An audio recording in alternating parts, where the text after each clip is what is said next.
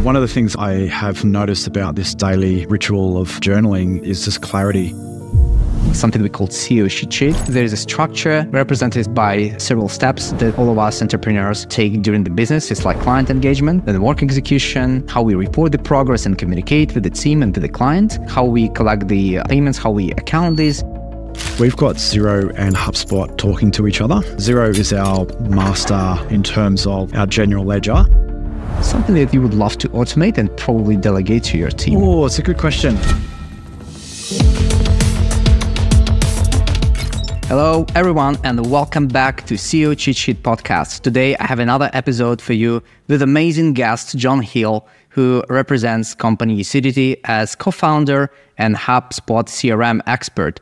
Um, we're gonna follow our standard agenda, having some intro, understanding uh, what Ucidity business is, uh, what John Hill look like, and then tap into the core, speaking of the tools, processes, and um, other tips and tricks uh, that might be useful for you. Uh, hi, John. It's um, I'm delighted to have you here on this call. How are you doing? Good, Vladimir. It's uh, great to be on here, and uh, I'm really excited about sharing some of my knowledge with uh, with your listeners as well. And um, thanks again for inviting me on board. Amazing. So uh, I'm kind of intrigued to hear like what's uh, what's your business is about in the first place. Um, and uh, how you started it. Yeah, absolutely. So, look, our, our business in a nutshell. So, we provide uh, CRM solutions for for businesses. So typically, what that looks like is uh, helping business owners understand their own marketing, uh, there's sales. So in terms of like lead management um, and actual sales dashboards and forecasting as well, and then uh, automation tools so they can save oodles of time in their business. So that's, that's one of our core offerings is the CRM. Uh, and then the other side of that is um, uh, really intelligent marketing solutions, so branding and marketing solutions as well. And we've got an outbound sales component. So essentially, we cover a lot of the spectrum, uh, but it's everything from helping a business um, bring in uh, perfect fit uh, people, we call them like strangers, to being someone who's an evangelist for your company that gets you more leads like your first customer. That's amazing. So technically, if if I just started a business or I start to think about the marketing department, I should probably take a look at the Ucidity, uh, which might help me um, have a more organized approach and use your uh, vast, uh, vast knowledge about how to structure everything down to processes. And you cover, you said, both marketing and sales, right? So it's like integral yeah. solution. That's amazing. Um, cool. So another another like extension of this question can be a little bit tricky. Uh, like why you started that? Uh, how it started from like um, from your point of view? Yeah. Look. Uh, so my my background was uh, I, I, come from a technical background. Um, so way back in the day, I was a web developer. I started coding when I was 12 years old, and um, uh, as I used to progress through my web career, one of my biggest challenges was handing over a website and essentially saying, see you later, good luck. Um, for me, I grew up uh, playing with a lot of Lego, so I love creating things, watching things grow. And um, my interest started to just naturally progress towards digital marketing as I was building websites. So I'd always have in the back of my mind, how to build a website so it can enable a business and help a business grow. And that naturally grew into curiosity around, oh, how do we fill up these websites with with leads? And how do we, once they're a lead, how do we help the business manager lead? So I get a real kick out of uh, helping businesses grow.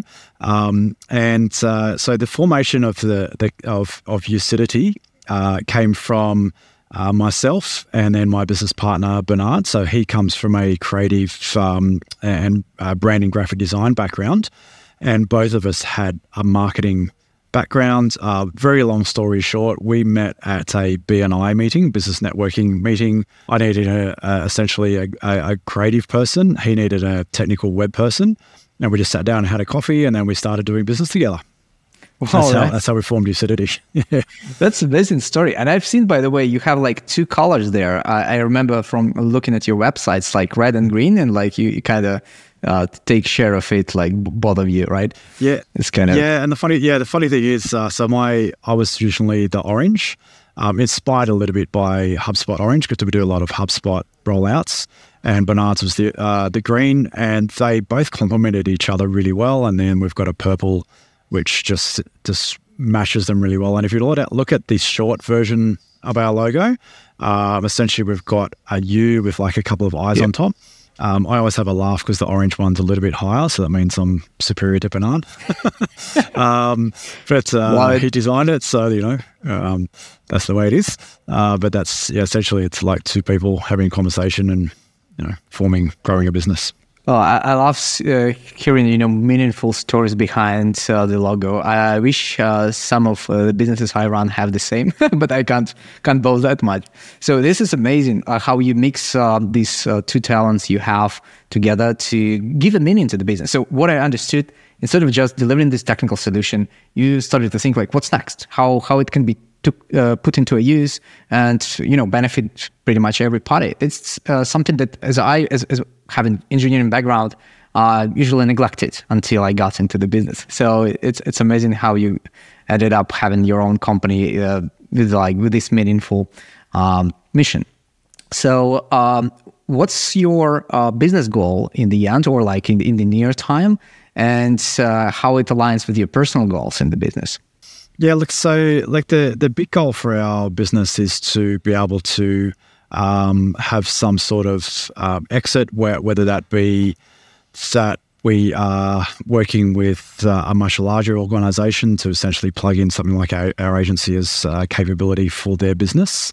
Um, that's one strategy we look at. But um, big thing for me is that um, as part of looking at an exit is, um, you know, I, I uh, have two kids and a wife, and my big thing for them is providing a future for, for them as well.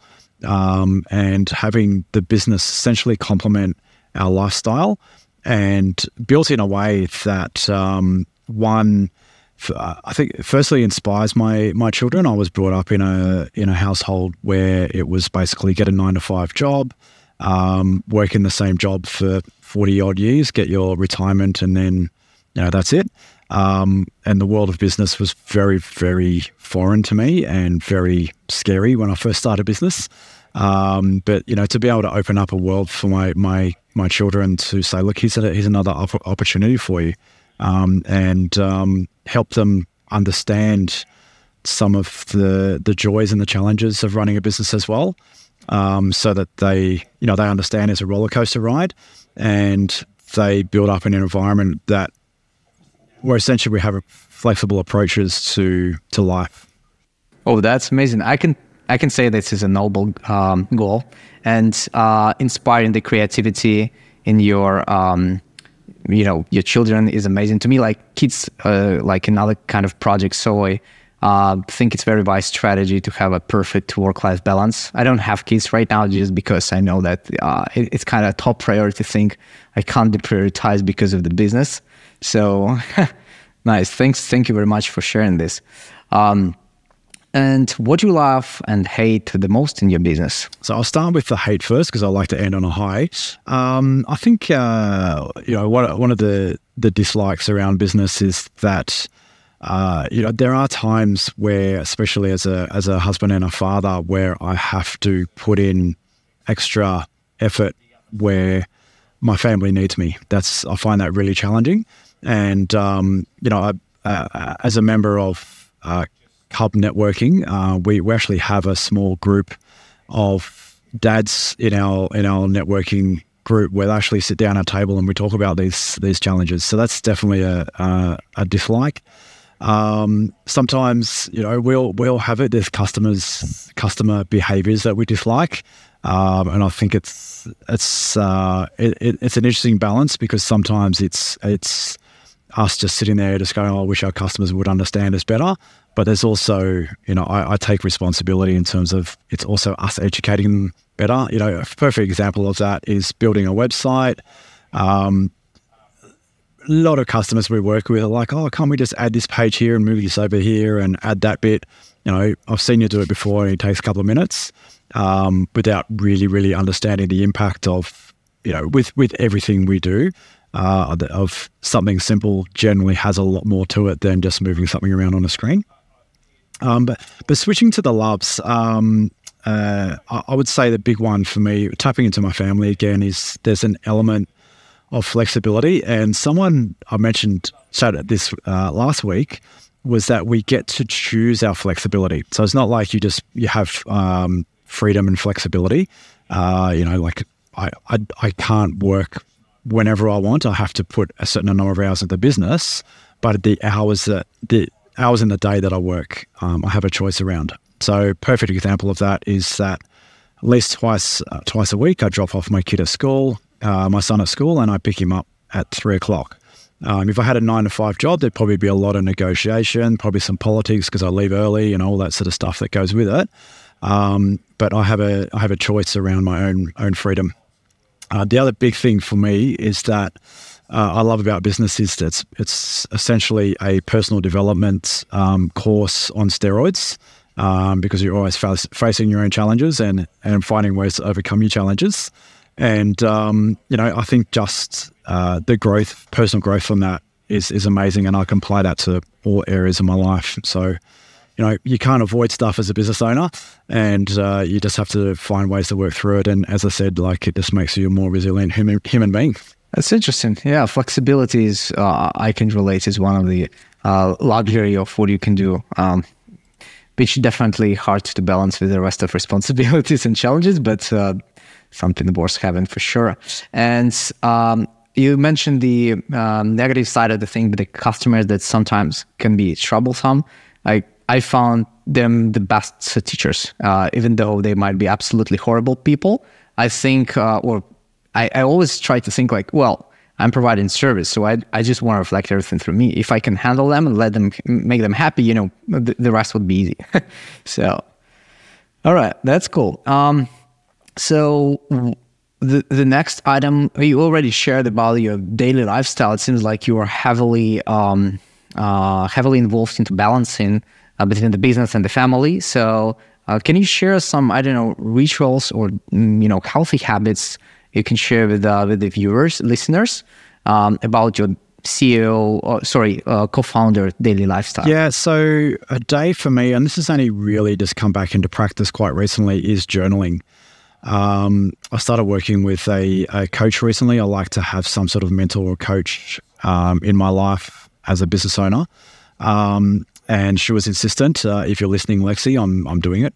Um, but she was insistent that every day I journal, and I was a little bit resistant at the start. But um, one of the things I I have noticed about this daily uh, ritual of of journaling is is just clarity clarity around where I'm heading, clarity around uh, as a pers- as a you know as a human being, as a father, as a partner, um, but also as a business owner. You know, I'm responsible for sales in my business, and it's like every day I'm like, what more could I what more could I journal about?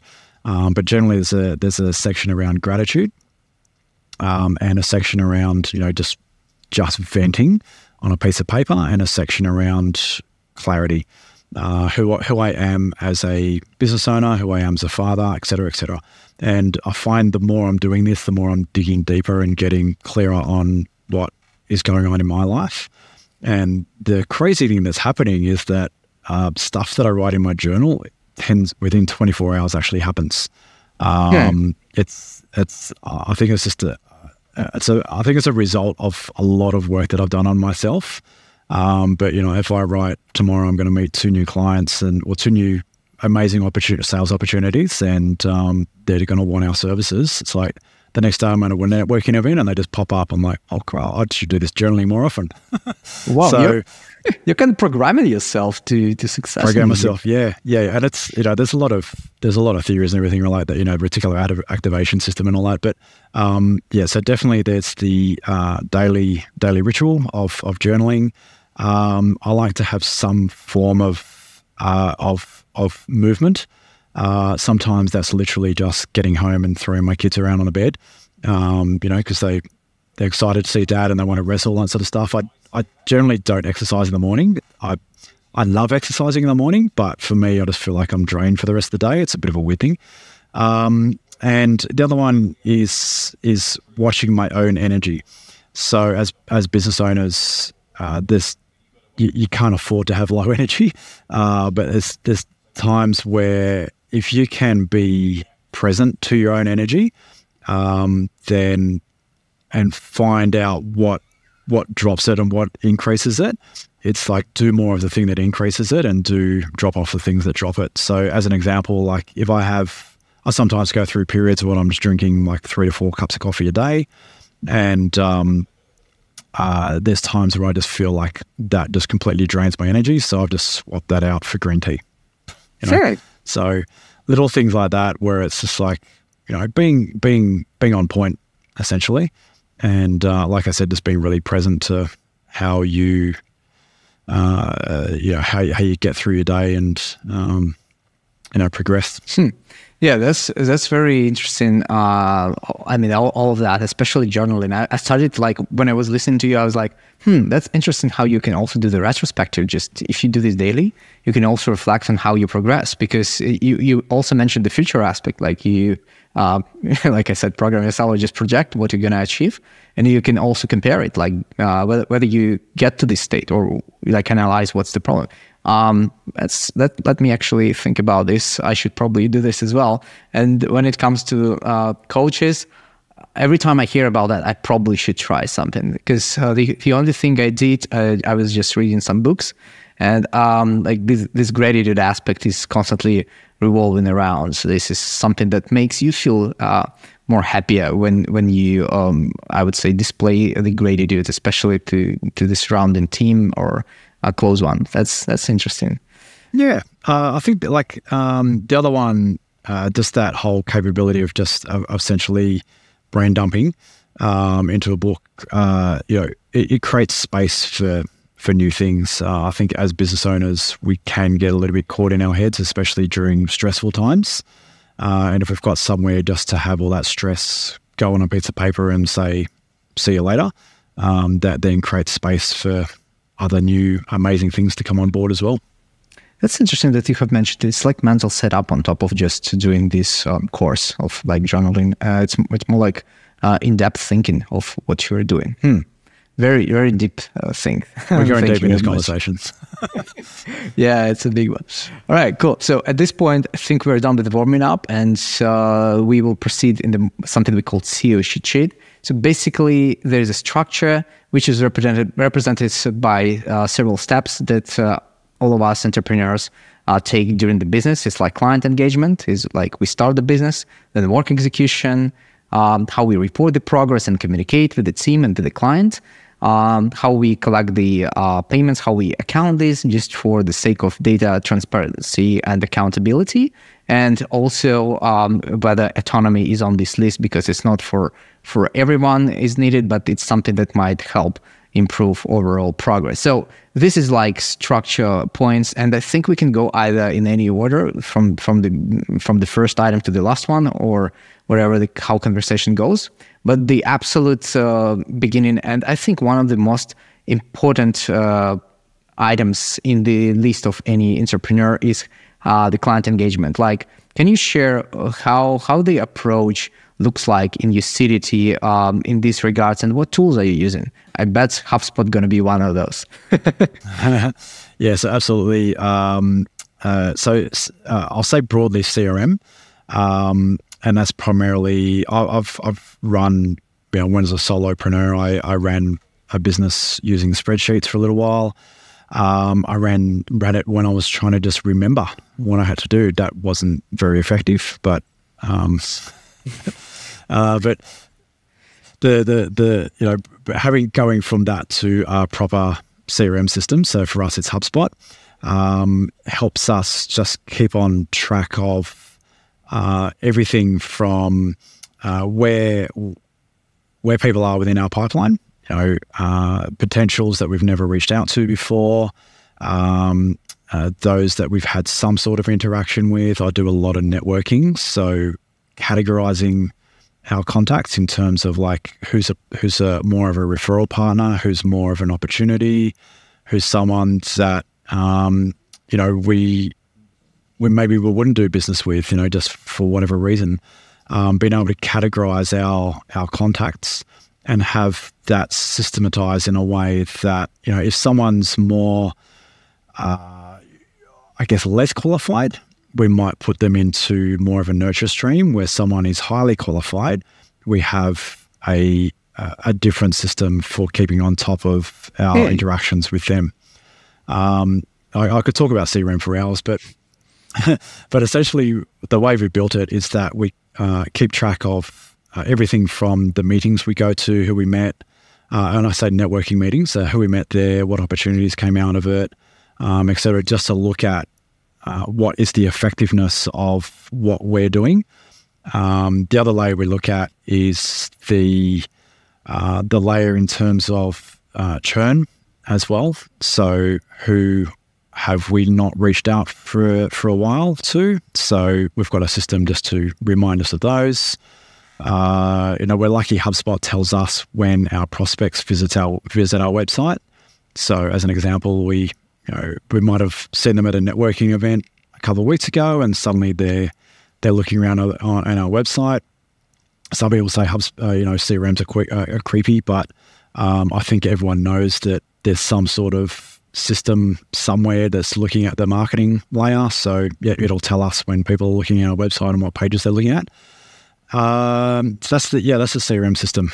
Um, like I said, I could talk about that for hours, but um, that's the very high level what we do. Yeah, thank you. That is very very detailed already. I think to understand for everyone who's starting to have a proper order for sales pipeline and uh, client engagement is it's it's pretty interesting. I think many companies just neglect that and stay within like something like Google Analytics. And I'm just curious, like whether HubSpot can completely replace it. As you mentioned, they collect the data, uh, right, from the from the visitors of the website. Like you can have the cohorts, you know, all that stuff. Yeah, so it's a, it's a great question. So HubSpot has its own inbuilt tracking and analytics tool, uh, and it will give you uh, a fair bit of data, but not not everything. So, as an example, Google Analytics will show things like, um, you know, uh, like the full flow of where people go through your website um, in, in more general terms. So, you get to get a feel for, like, hey, when people jump to our website, where do they go next? Whereas HubSpot will give you more of a, um, a specific journey. Uh, it'll tell you which pages are popular, you know, where they came from, how they got there, etc. But Google, definitely Google Analytics will give you a lot, lot more detail, and you can do a lot more with the the, the data as well. Um, but it has its own style of analytics. Like absolutely, Google Analytics won't tell you, won't tell me if you came to our, our website. It'll just say, "Hey, we got a visitor." Obviously, for data privacy reasons. But um, yeah, that's sort of a main difference. So we tend to use the both together. Mm, well, makes sense, and you can always compare the effectiveness too. Um, yeah, that's that's something um, that's pretty unexpected. I actually didn't know HubSpot can collect this information, but they also uh, have to stay on this item a little bit more than I want because you're a HubSpot expert, and I think for everyone who listens and um, watching this podcast, going to be very interested to know to learn some extra aspects. So one of the um, another aspect would be like probably the cost, especially for starters. I know the HubSpot uh, can be pretty expensive if you have set of all in, but for these like essential tools, would you highlight what would be the best starting point for for I don't know uh, agencies looking into bring some order into into their business? Yeah, so look there. There's a couple of really really available entry points for HubSpot. So yes, they do have a a, a free version. Um, that's where I started my journey when I was really just deciding which CRM I wanted to work with. Um, so with the with the free version, you can have uh, all your contacts in there. You can market up to uh, I think it's a thousand from memory. Um, you can have a full sales pipeline, um, but it won't really do much of the marketing side. So as an example, if you've got a contact us form on your website built in HubSpot, it'll have a little lo- it'll have a logo there saying "Hey, built by HubSpot." So mm-hmm. uh, I would say it's definitely for the uh, sales pipeline management, it's, it's fantastic from there and even the free version. And then we have the what we call the starter version, and that can start for a single user, uh, $22 per, per month. That's per user. So if you're a really small operation and you've got like two or three salespeople, you're, you're spending like $50, $60 a month um, for, uh, it starts to open up a little bit more. So you can do some of the automations. Like uh, one of the things I love out of that is um, is meeting automation, especially if you're a salesperson. One of the biggest challenges around meetings is like, hey, are you available available at three o'clock on Monday? And the person's like, oh no, I'm not. I'm available at four. And it's like, oh, hang on, I'm available. And it's there's emails bouncing back and forth. And uh, if you're a busy person, uh, you know, most of us just end up getting on the phone and someone's fumbling around. Like it wastes a lot of time.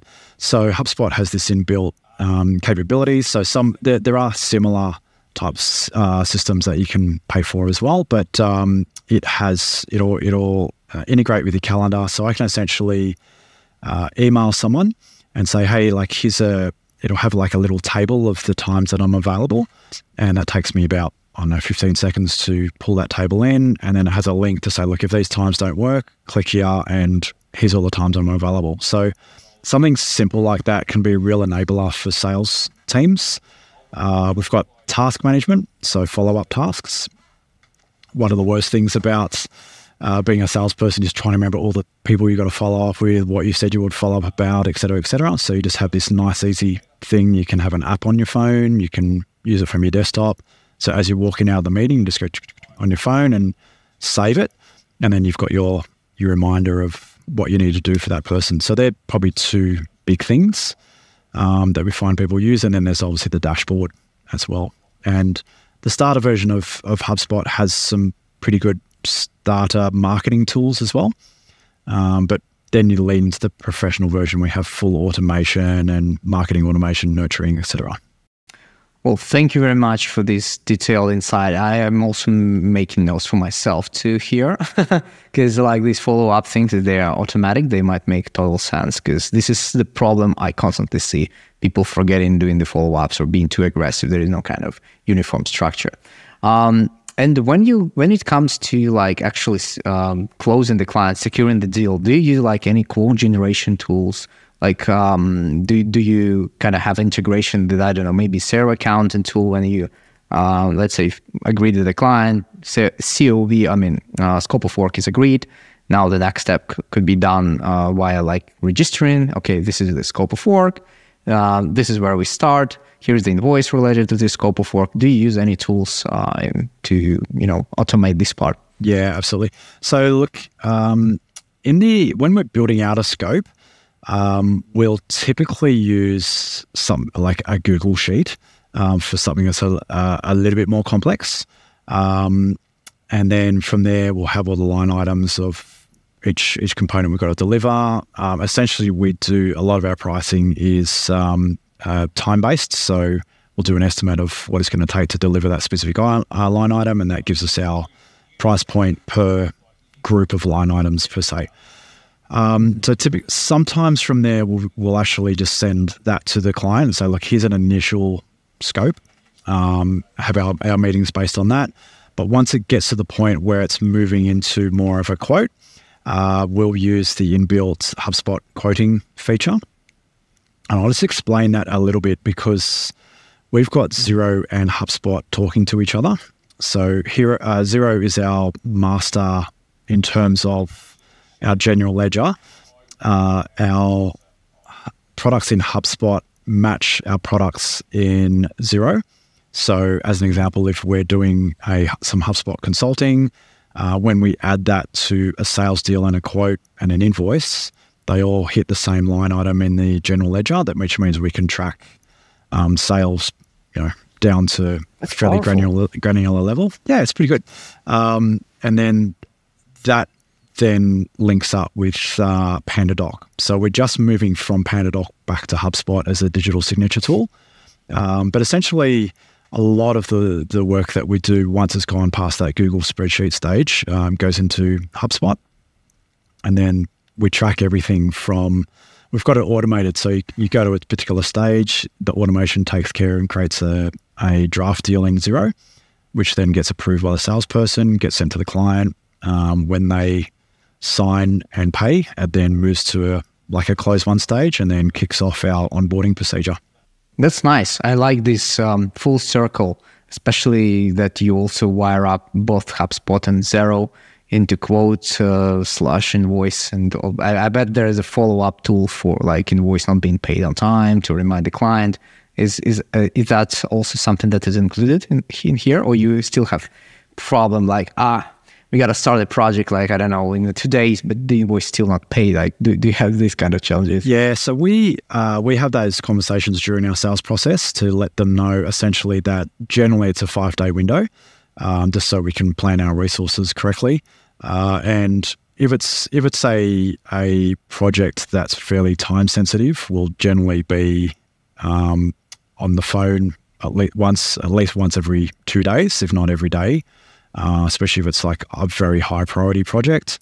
Um, and then, yeah, you know, essentially it's just guiding the per- the, the the person out there and just say, look, you know, if, if you want to kick off, then you know we have to have the documentation signed and the invoice paid, um, and just having them very very aware of of how that process works. Um, and for you know other style projects, generally they sort of I won't reuse the word drift, but they have their natural progression hmm. through. That's nice. Yeah. Well, thank you very much for sharing this part. I know this right now is a little bit tougher times in Australia, and I've I've, I've heard from several uh, entrepreneurs that there is a challenge with chasing clients with payments, and I think it's very important to use technology to help alleviate that and stay focused on, on what you're doing uh, instead of like maintaining this infrastructure. This is pretty cool. So HubSpot and Xero. Now, when it comes to work execution, when you naturally give it to the team, what tool do you use like to track the progress, you know, to, to then create a timesheets, maybe do some internal analysis? Yeah, so we we use ClickUp. Uh, we have used um, a few different tasks, uh, a few different uh, platforms in the past. We used Teamwork originally um, and moved to ClickUp about two years ago. Uh, I guess part of the reason was it just gave us a bit more flexibility and had a few more bells and whistles. Um, so that is where we do our project and task management and our timesheeting and a lot of our uh, scoping as well. So, as an example, if we have a project meeting with a client, um, we'll have a special section which tracks um, ongoing WIPs.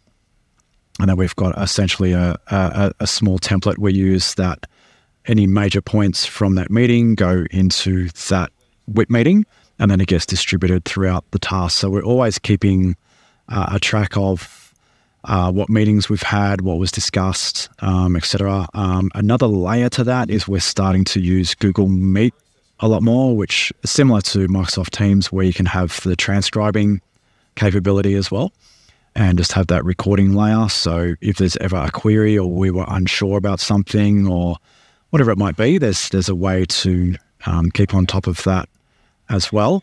Um, and then in, for our internal comms, we use um, Slack.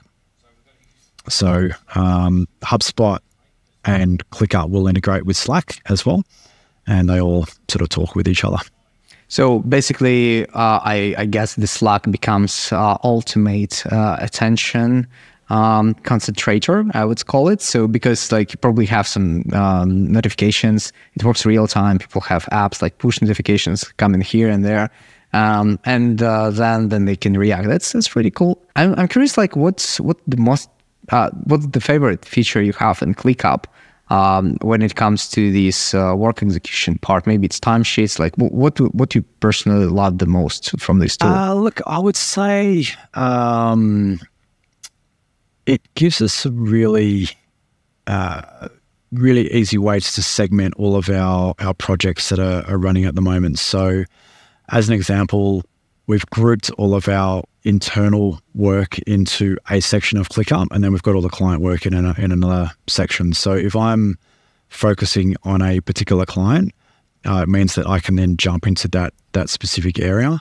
Um, and then once we're in that area, we've set it up in a way that we've got all of the columns we need for a task. So everything from I'll just run through because I've got in front of me. Uh, but like there's there's priority, the date that the that particular task was originally due versus when say you know, we all know tasks move out for various reasons. So we can actually look at that and go, it was due on the 1st of, of August the new due date is 1st of September, and we can do a little bit of analysis saying, look, how often do these things move? So we get a bit of a feel for our projects as well. Um, when the task starts, when it's due, who's ultimately uh, looking after it, and who's actually who's assigned it. So I can actually be the ultimate, owner of that task, but I could task people in my team to do the doing, and then but I've got ultimate responsibility per se. Uh, then we've got like how much time has been tracked already versus what was originally estimated, um, status, and then like a comments field. So you just have comments in there, sort of ongoing comments as well. So I, I really like the fact that we've got everything in front of me. Sort of integrity. Um, I got it. Yeah. Uh, that's cool. Yep. And uh, yeah, I got it. So hierarchy, integrity at some level because they have time tracking. You have uh, ability to segregate uh, different aspects of work uh, using like uh, clients and other differentiators. And um, I, I, have a, a, just a small question, just based on your answer. You mentioned you also uh, using comments in in ClickUp, but you also have a Slack. Does it create some challenge to a team to to understand what the? I, I mean, or, or they just know that task related stuff we discuss in comments, everything else in Slack. Yeah, it's a really good point. And um, I think one of the challenges with most organizations is when everyone's got a whole set of tools. Um, then there, there, has to be a strategy to management uh, to manage it. As an example, like even even with our organization, we try to keep things lean, but we've got people on WhatsApp, people on Facebook, people on Instagram, we've got emails, we've got text messages. You know, the list goes on. Um, so it's about putting boundaries around what what goes where, and exactly what you said. So if it's more general stuff, like I'm just texting my team, going, "Hey guys, where's this thing at?" That's a Slack message. Um, if it's um, something like a client approved a design, uh, we'll change the status to approved, but the comments will have something like approved during uh, WIP meeting on you know 26th of July by Fred. So at least there's it's specific to that task. And if someone needs to go back later, it's sort of a trail of of conversation specific to that task, like you know, client like noting. Yeah, exactly, exactly. Yeah, hmm. got it. Well, that's cool. Um, I think uh, yeah, this is this is gonna be interesting for others to also delve into that. As I as I hear here, like you know, also when it comes to communication with the client, if if you're inviting them to some tools so they can see the progress. And i'm tapping into reporting and communication uh, into second part of it like um, do you guys also communicate inside the ClickUp with the client? Like do, do you show like hey here's our progress. This is the task we finished you know?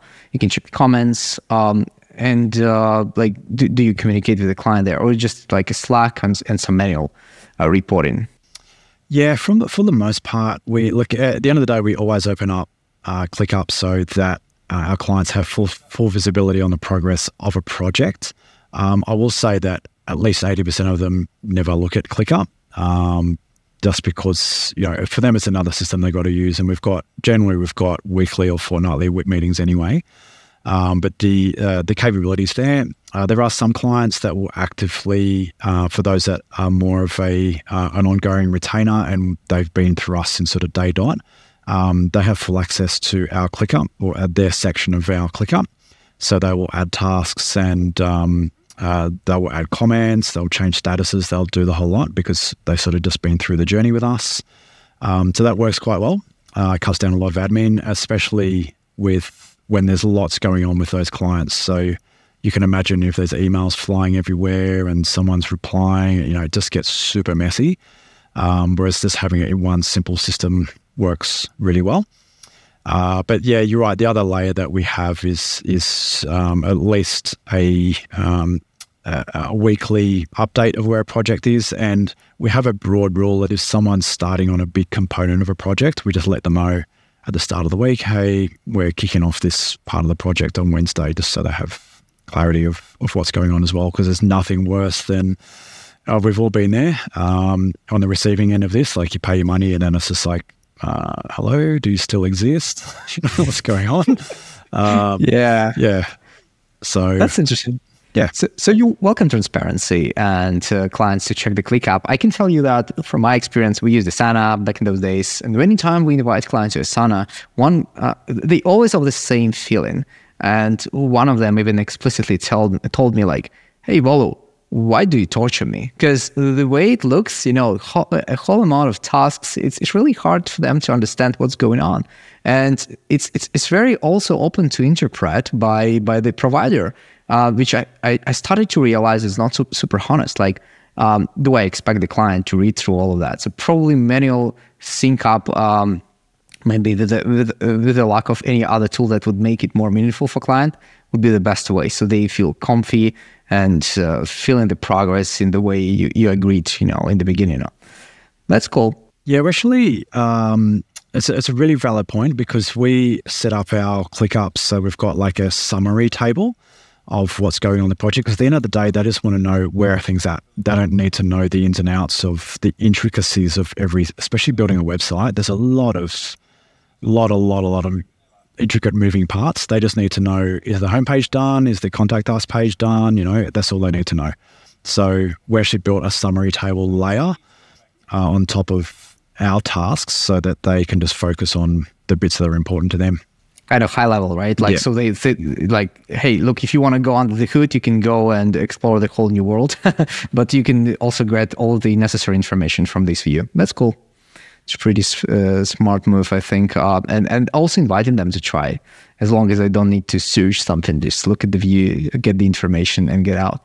That's cool. Um, when it comes to reporting inside inside the company, this is this is another point I just had from my experience, uh, and, and I'm really curious to know how do you handle this aspect. Like, how uh, do you track integrally, like using all these tools, the profitability and the budget usage with each, with each client? You know, because sometimes it can be important. Some clients can, you know, stop in the beginning or just bring a lot of change requests. As we started on, like, hey, can we add this page? And you know, it just ruined the whole timeline. You can't, uh, you know, respect the deadline anymore because there is extra work coming, or you can, you need to uh, provide some extra invoice or something comes inside the team. So, do you track this information internally? Yeah. So, uh, look, very broad broadly, we have, uh, and this is a, a, I will say outwardly, it's a it's a weakness of ClickUp. It doesn't have a financial layer.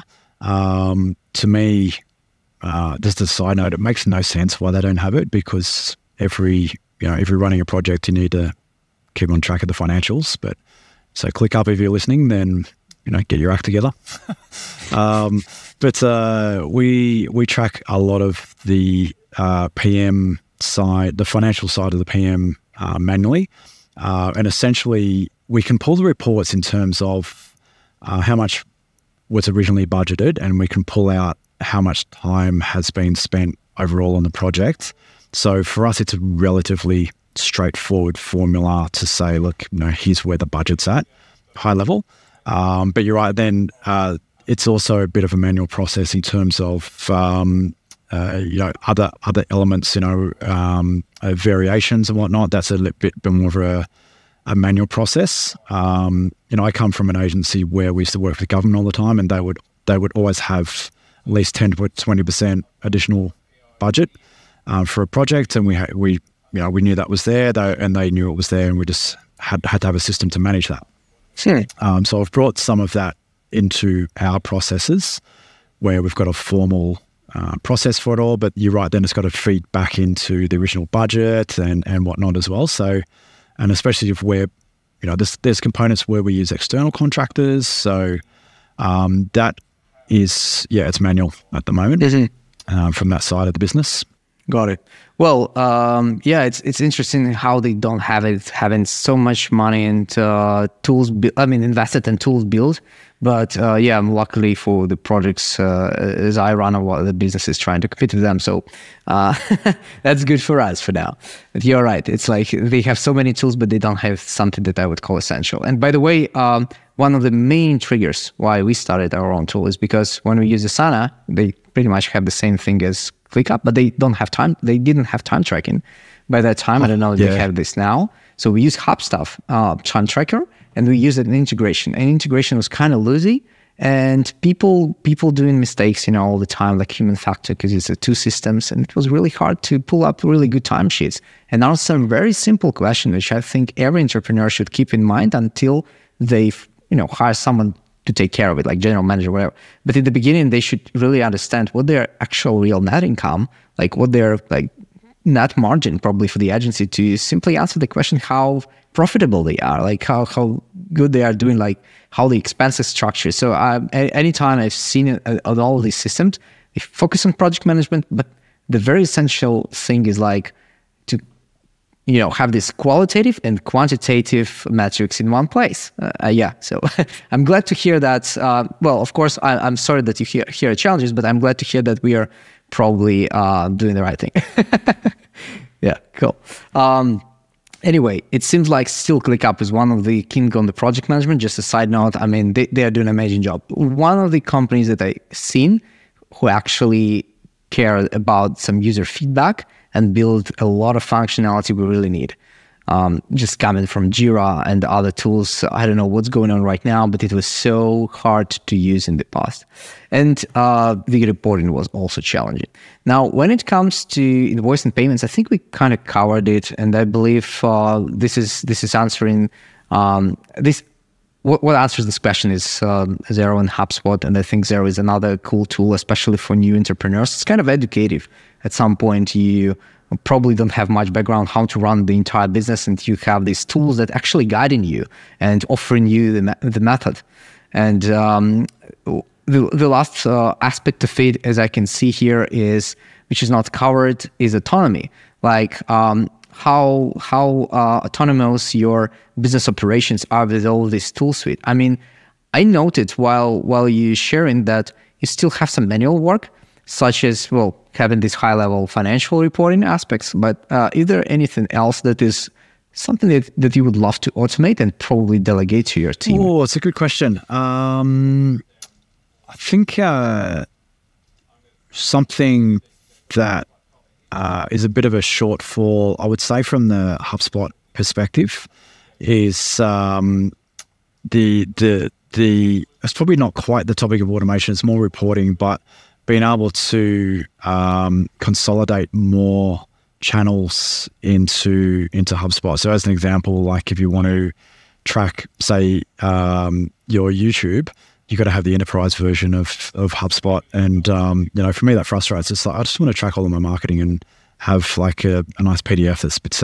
spits out that we can track that. So um, look, I would say, uh, firstly, like because we, we do integrations, I think we're lucky enough that we have either built in integration ourselves or found something that does the the work for us. Because um, that, I guess, we're more te- technology minded, technologically minded. Um, so yeah, I, to, to short answer to that, I I think we've covered a lot of what we need in, in terms of automation because I feel like um, if we went too automated, um, you know, we've had discussions internally around automation of, say, when someone becomes a lead, you know, like um, I mentioned before that we've got uh, nurture sequences they go into if we don't think they're going to really convert anyway. Um, but there's a fine line between having emails that are flung to you every every week that people know they're an automated email versus something that is actually meaningful. So, but, hmm. Um, That's interesting. Yeah, and especially with the AI striking in, it becomes even more challenging.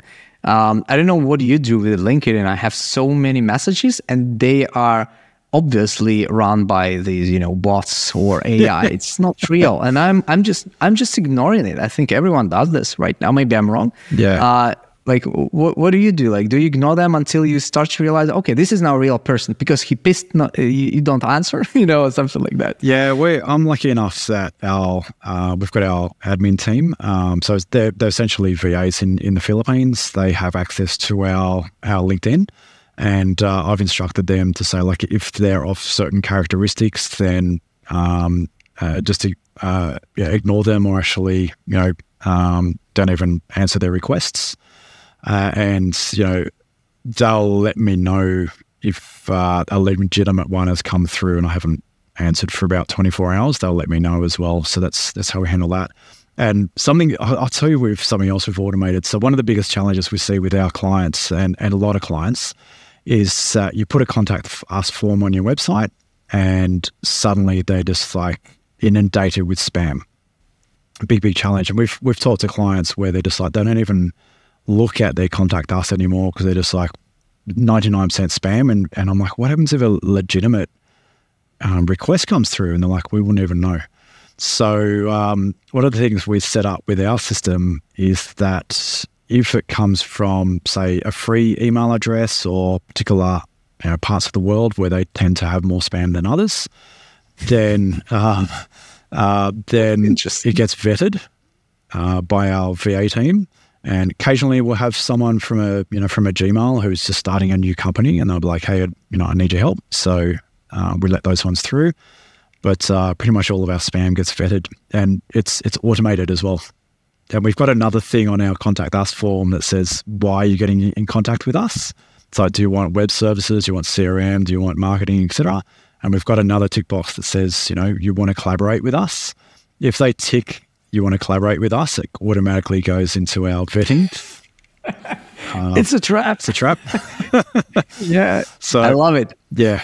Yeah. Yeah. Because it was just wasting time. It's like, you know, we'd start pursuing it and then it's like, oh, hang on, this is spam. So we've got to be protective of our time. I, I can't reflect it so hard because like probably 95% of emails we are getting from from the forms uh, from the contact us it's going not from the leads but rather someone who tries to sell. Yep. It, it doesn't really even matter if this is like someone looking for a job, they're still selling something and you're, you're wanna, you wanna sell. It, it, it's just illogical. For selling, uh, for, I don't know, for careers, you can have a separate page. Like why, why would you do this cold selling? I really like it. And I think we should have something like that uh, too, because I like this button because anytime it's collaborate, you know, uh, I don't know, maybe a more sane person would think like, hmm, they want to they want to sell their product. If I click this, I probably not doing what I should do. Maybe I should enrich in, in different channel. So it's very very smart uh, strategy. Um, the only thing we did, by the way, which might, might, be helpful, we changed completely the approach with contact form. We removed them completely. We have this live chat and we have it integrated in the work layer. So it automatically creates tasks, create push notification, like it notifies salesperson with every arsenal of tools they have because we started to measure uh, if the if the answer fast to the to someone who is of course qualified as a lead, the success rate at the answer at, at the, having any minimum dialogue is like day and night. You know, it's before that.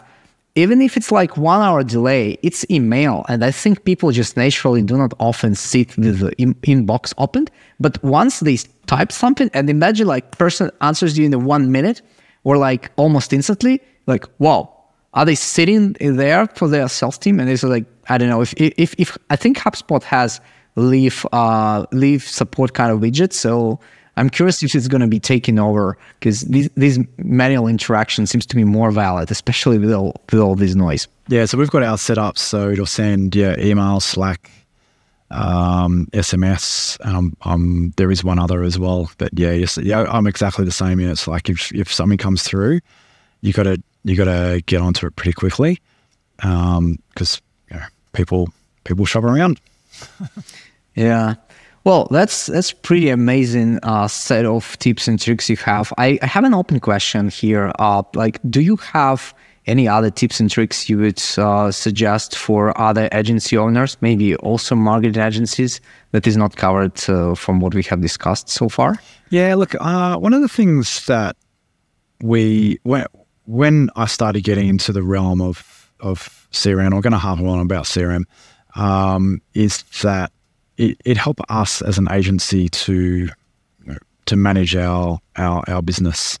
Um, the the next layer of that is then being able to, from our learnings, being able to impart that onto our clients as well. So no longer are we just a you know essentially a marketing agency. We're like you know, even when we're implementing CRM, sometimes it's the first time you get sales and, and marketing in the same room.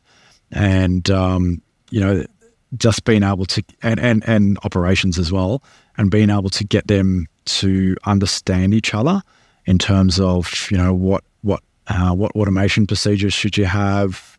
Um, what's, what's a qualified lead versus unqualified lead? You know, all those conversations in the same room um, are really uh, you know, for, for, for some businesses, they've never had those conversations.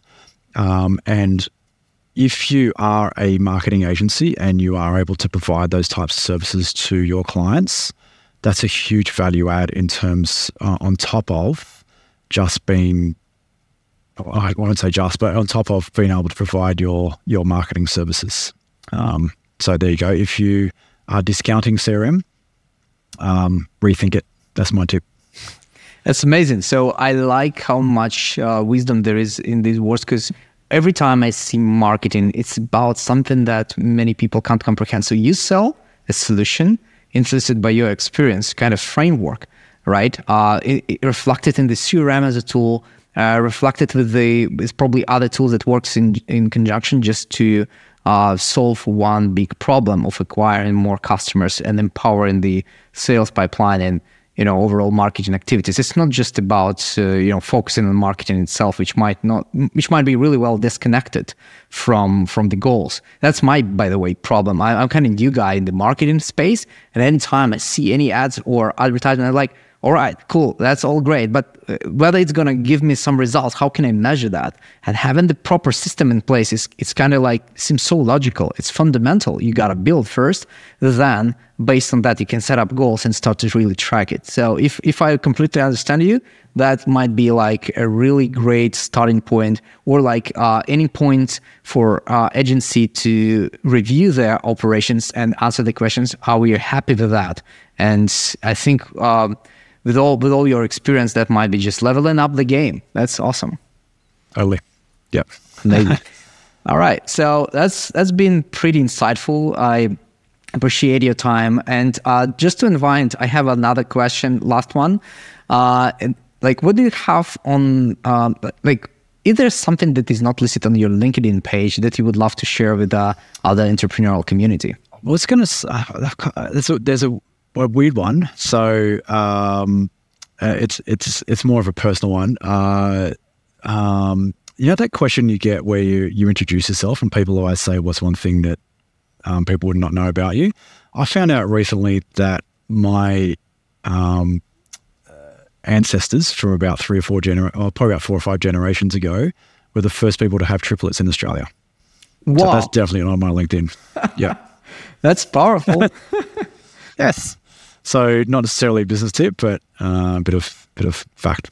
Yeah. Well, thanks for sharing this. Yeah, I, I think many people just love to hear something extra. So they, they more like reading sort of, I don't know, bonds with the personality they're taking advice from. And I think it's, it's really amazing. Well, thank you very much for the time today, John. Um, it's um, amazing to have you and sharing all of your wisdom and experience. And um, yeah, I, I hope one day, um, yeah, I will also try this framework. We have so much thing to do, but I'm really inspired with what you have shared so far. And just for every other viewer, um, so they can find you, can you share like what's the best contact uh, to contact Ucidity? Just a website or something? Yeah, else? absolutely. So if you go to Ucidity, so uh, essentially the Ucidity is spelled like lucidity. Um, but just get rid of the L at the start. Um, we've got a cheesy um, line around that one. We dropped the L so we can focus on you. So uh, ucidity, ucidity.com.au is a great starting point. We've got blogs, we've got resources, we've got all sorts of stuff on there, and uh, hopefully you'll find what you need there. Amazing. Well, thanks again, and um, I see you um, later. And have a great, productive weekend. Thanks, Vladimir. Thanks very much for having me on.